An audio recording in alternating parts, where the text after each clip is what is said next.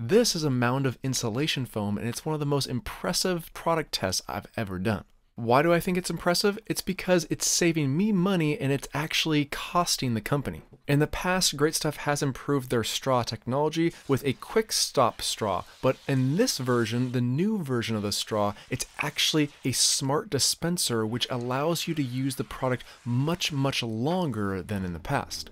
I applied a row of foam every day on this same mound, thinking that eventually it would stiffen up and clog the straw. However, to my surprise, it ran all the way to the point where the can ran out. Quite impressive, and this test literally took me a month to do. The reason why I find this so impressive is that in the past, I've always been on job site with a half can that I couldn't use because it clogged eventually. Now with this system, I'm not wasting material, which then coincides with not spending as much money as I would normally do. Pretty impressive, but how should I test this product out next?